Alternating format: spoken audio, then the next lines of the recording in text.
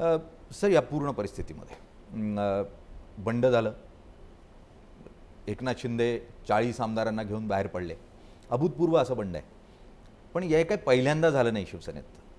भुजबळांनी केलं राणेंनी केलं मग अगदी राज ठाकरेंनीही केलं.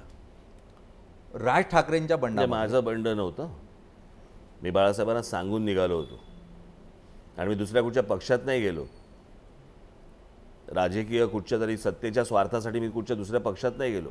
मी स्वतःचा पक्ष बाळासाहेबांना सांगून भेटून मी बाहेर पडून तो स्थापन केलेला आहे. त्याच्यामुळे त्या बंडाबरोबर माझ्या तुम्ही बरोबरी करू नका. हां पुढे बोला. तुम्ही ज्या वेळेला बाहेर पडलात त्यावेळेला तुमच्याबरोबर एक आमदार होता आणि शिंदे चाळीस आमदार घेऊन पडले. मुळात त्यामुळे एक तुलना व्हायला. माझ्याबरोबर बाळा नांदगावकर जे आले कळलं का? ते शिवसेनेचेच आमदार होते हां. हो हो. निवडणूक लागेपर्यंत बाळा नांदगावकर कधीही महाराष्ट्र नवनिर्माण सेनेच्या व्यासपीठावरती नव्हते ते माझ्या बरोबर होते. पण शिवसेनेकडनं आलेला जो व्हीप असायचा तो व्हीप बाळा नांदगावकर पाळायचे. परत मी तुम्हाला सांगतोय की ते आणि हे वेगळं आहे.